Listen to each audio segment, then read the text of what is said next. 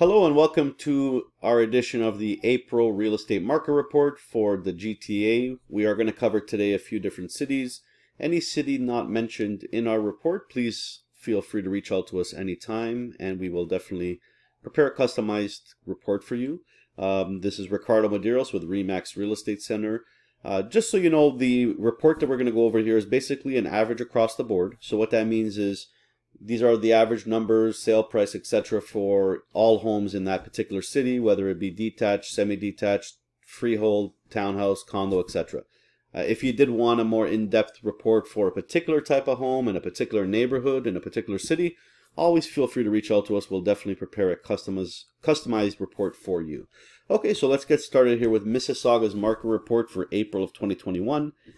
The active list number of active listings for the month was 972 the actual sales was 1243 so basically you're going to see some of the numbers that are higher for sales than actual active listings and the reason for that is they carry over from one month to another.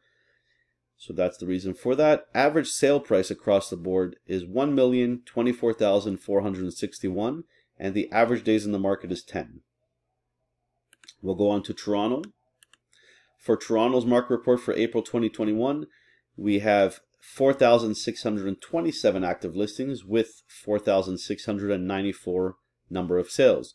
The average sale price across the board, 1,088,021 with 11 days as the average days in the market. We'll go on to Oakville here. For Oakville's market report for April of 2021, active number of sales 392, number of sales 523 and the average sale price is 1,458,793 with 10 days as the average days in the market. For Milton's market report for April 2021, we have 212 active listings and we had 342 number of sales. Average sale price across the board, 1,061,348 with 9 as the average days in the market. We'll go on to Burlington's market report for April of 2021. Number of active listings 237, number of sales 406, the average sale price across the board 1,058,992 with 12 as the average days in the market. We'll look at Brampton. Brampton's market report for April of 2021. 989 active listings with 1,331 number of sales. Average sale price across the board, 1,005,405. Nine is the average days in the market. Here is just a um, average sale price across our markets.